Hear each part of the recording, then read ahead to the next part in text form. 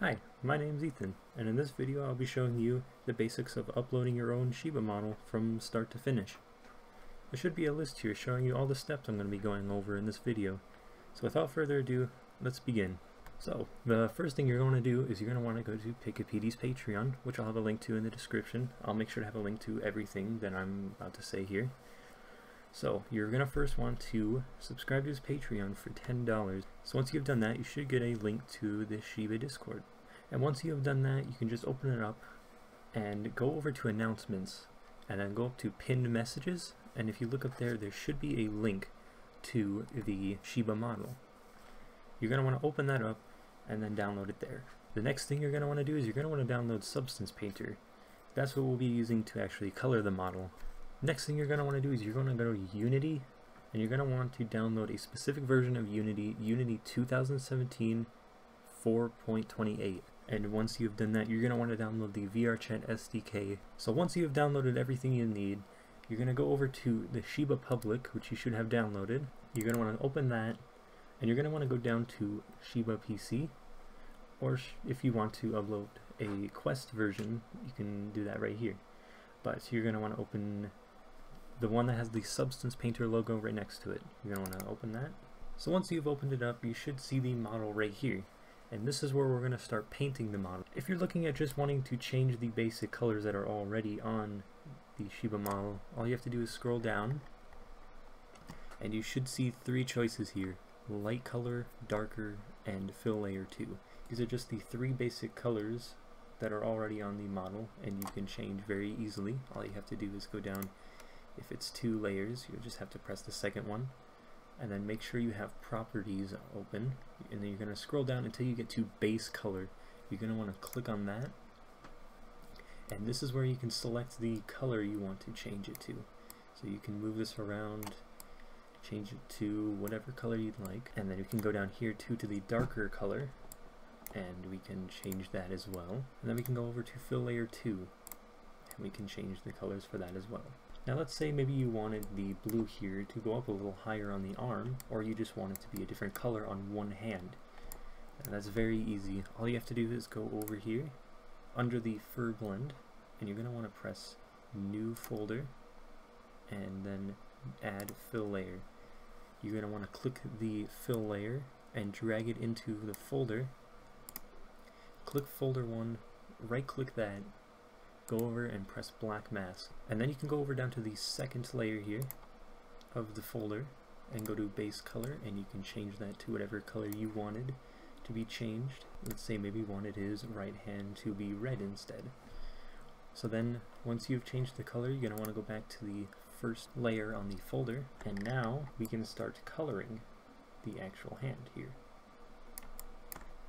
you can also go here onto the 2D side and you can easily color it right here without having to worry about coloring anything else. And as you can see, there we go. We have now changed the hand to red. Now you can do this with about almost anything on the model. Now let's say you want to change the collar because you want it to have your name on it. All you have to do is go over to collar, make sure that's open, open up collar part, go over to fill layer 18, right click that again and press add black mask. Then you're going to want to go over to alphas and type in fonts. Now Substance Painter has a selection of fonts you can choose from. We're going to go with this and then you're going to want to go over to paint properties again and scroll down until you get to text and this is where you can change the text to whatever you want it to say. You can have it say your name or just whatever you'd like. Now let's say maybe your name is just a little bit too big all you have to do is just change the size so it's a little bit smaller and it should fit in there. And then you can change the size over on the left here so it's a bit bigger.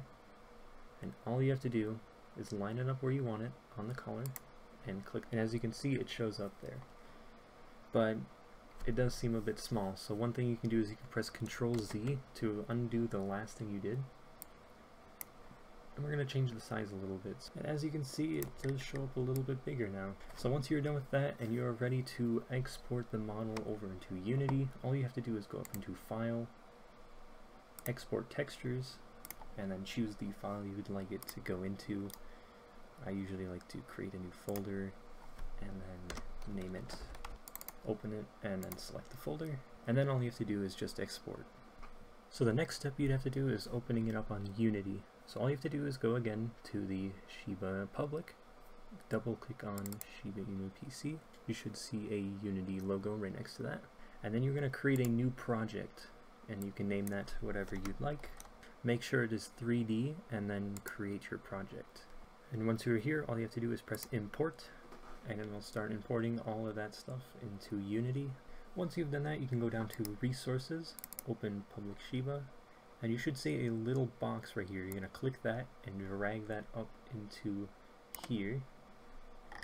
And you can scroll in, and as you can see, you can see the model right here, but it it does not have the textures that we did in, U in Substance Painter. And how to apply those is you go over to folders, and then go over to the text where you exported the textures from Substance Painter. The ones you're going to need for this are the albedo transparency, the spectral smoothness, and then the albedo transparency for the tail and spectral smoothness for the tail as well. You're going to also need the emission as well for the main model and all you have to do is just press control and then click on the ones you want and then click and drag those in. Once you have dragged those in, you're going to want to click on the Shiba Inu. It shouldn't have a little ball here. And all you have to do is just match up the textures that you dragged in. Click those. As you can see, it should say here, the albedo transparency. You're going to click that and drag it up in the albedo and you're going to do this with the spectral smoothness as well. And the last step is dragging the emission, which is where the color is. And as you can see, the name shows up for everything here. And then all you have to do is just do the same thing for the tail, just the albedo and the spectral smoothness. And there you go. You pretty much have your you pretty much have your model ready now all we have to do is just go over a couple more steps and should be on our way to actually uploading it to VRChat. So first you're going to want to go over and click on the model and you're going to want to click go down to armature hips and then you're going to click on left thigh and you're going to want to go back over to the Shiba Public again and you should see something here called instructions. You're going to want to open that and it should open on notepad. All you have to do is just put in these numbers so they match up here. So where it has left thigh position, you want to make sure that this is the left thigh and position. You're going to want to either uh, control and copy and then paste it in. Make sure you have all the numbers in though, or you can just type it in as well. Then go down into rotation, which is the next one. And then don't mess with the scaling. You don't need to do anything with that. So once you have put in the numbers for the left thigh, you will move on to the right one. And make sure you have it make sure you're putting in the coordinates for the right thigh and not the left one and there we go once you are done with that you can close out of that and I'm gonna go over a couple more things just in case you were interested in how to add other 3d objects onto your character and then you're gonna want to go and double click the VRChat SDK and this sometimes takes a while and can crash Unity don't don't worry if it does that. As long as you've saved all your stuff, once you load it up, everything will be back here again. So if you have any 3D models, and I have a couple, so I'm gonna go and let's say maybe you wanted to add a guitar in, and make sure you're in assets, click and drag that in, and then if you have textures, you're gonna want to drag those in as well. And as you can see, we have the guitar right here, and we're gonna click and drag that up into here. And sometimes a lot of the models might be way too big. So what you can do is you can scale those. This is what the scale is used for, is change the size. So I'm going to do 0 0.1, 0 0.1, 0.1, and uh, that looks about right. So all you have to do is then choose which arm you want to put it on. I usually do the left arm. So you just want to line it up and over here there is a rotate option as well. Rotate it. So I usually have it for the guitar, I usually have it on the left side. Just angle it up so that it fits on the hand. And this may not look correct now, but in-game this should work. And once you are done angling it so that it looks correct, all you have to do is then go to where it where it should go on the body. So since it's on the left hand, I'm going to go down to spine, chest, and then keep going down until we get to hand. I'm going to open that up. And then you want to click the object and drag it in to where it belongs. And for me, it's the left hand.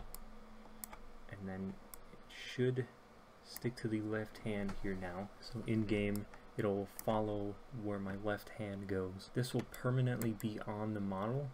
So if you just wanted this so it was activated during an emote or a gesture, I will have a link to a video of that uh, below. Otherwise, if you just wanted to put a 3D model onto your character, this is all you would have to do. Now let's say we wanted to add the textures because we don't just want a white guitar or whatever object we're using. All you have to do is go in the box, right click, create, and then go down to material, name the material, I'm going to name it guitar because that's what it is, and then you are going to drag the textures where they belong. As you can see it's not applying it right away but I'll show you how to do that in a little bit.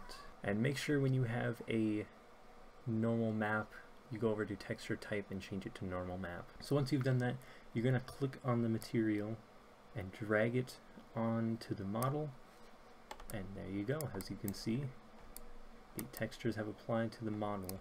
Now let's say you wanted to add a some custom emotes. So if you've downloaded any uh, custom animations, I already have one downloaded. All I have to do is double click that and it should start importing it. So once it has done that, all you have to, all you have to do is go over to the model again and then you're going to want to press Shiba Inu and you should see uh, emotes 1 through 8 along with all of the uh, gestures as well. So once you've done that you're going to go over to the animations and you should see all you have to do is just drag in the emote to whichever emote here you want it to go to. So we'll say we want 1 to be 1, 2 to be 2, you know, whatever emotes you want from 1 to 8. So once you've done that, that is all you have to do.